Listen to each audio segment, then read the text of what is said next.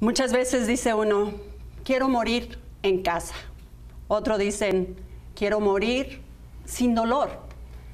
Si ustedes están viviendo esta triste situación, tienen un ser querido con una enfermedad pues que no es curable, pues es muy triste. Usted no estará solo si usted llama a Valor Hospital Care y ahora les damos la bienvenida a Rick Nass, que él es enfermero titulado y director del programa.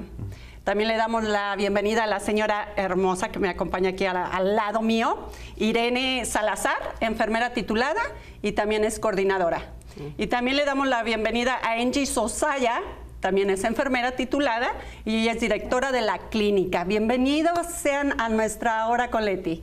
Muchas gracias. ¿Cómo se sienten? No, no, no, me digan que se sienten nerviosos, porque ayer estuvieron con las chicas más hermosas de arriba Tucson. bueno, vamos a empezar con usted, Irene. muchas personas tienen una visión negativa del hospicio. ¿Por qué las personas deben buscar cuidados ah, paliativos al final de sus vidas o cuando están muy enfermos? Sí, muchas gracias. Uh, es ah, una situación bastante difícil ah, de hablar y tratar, pero es algo que, un apoyo que es muy importante y muy necesario en muchas ocasiones. apoyamos al paciente con situaciones de seis meses o menos de vida y les proveemos servicios tanto a, e, a esa persona como a los familiares además es apoyo de enfermería, un, ah, em, o sea, eh, nuestro, eh, nuestras personas en el, en el ah, programa además son ayudantes de enfermeras ah, y todas están certificadas. lo muy bonito de esta situación es que todo el mundo habla los dos idiomas. Em, el apoyo es también espiritual de trabajadores sociales, y además tenemos un médico director que en, cada momento del cuidado de este paciente él está muy al tanto del cuidado.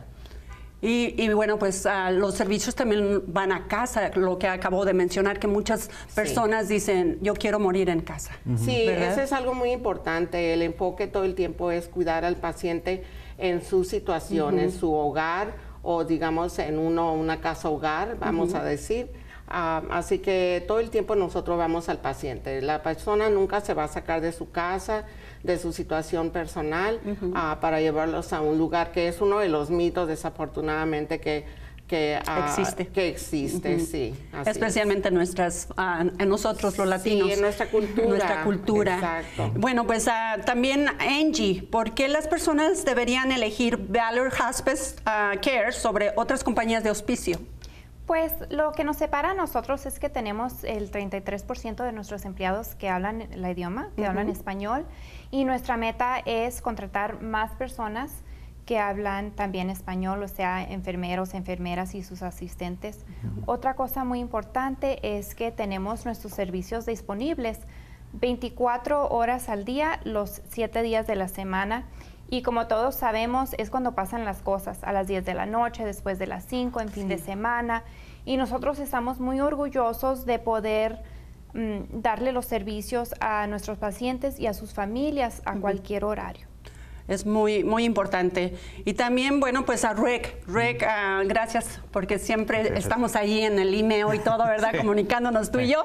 Porque, ah, bueno, parece que te sientes, bueno, muy orgulloso de, porque tú eres el que te encargas de, reclutar el personal y, siempre estás ah, reclutando personas que hablen los dos idiomas. Sí, es muy importante porque necesitamos tratar los pacientes con, con el, pensado de su cultura, idioma y ah, lo que necesita. Y por eso tenemos las personas para, para hacerlo. Y ah, ahorita necesitamos más enfermeras que hablan español. Bueno, porque pues estamos ah, más grandes que, que, que, en el pasado. Hay que tratar, hay que tratar de eh, reclutar a través de nuestra hora con Leti a través de Azteca Tucson. Aquí estamos a sus órdenes. De los social workers, el chaplain, enfermeras, asistencias, necesitamos oh, todo. Ok, bueno, pues va a estar el número telefónico, el, contacto para, para que se comuniquen con ustedes rápidamente porque ya se nos está terminando el tiempo. Angie, ¿en cuáles áreas ustedes se están enfocando? Nosotros nos enfocamos los servicios desde Mammoth, Sierra Vista y luego hasta Tres Puntas, Tucson, de Tucson a Zaguarita, Green Valley, y todo lo que esté en medio de Tucson a Nogales. Y yo creo que es todo. En Douglas. Douglas, también. Sí, también en Douglas. Bueno, pues muchísimas gracias.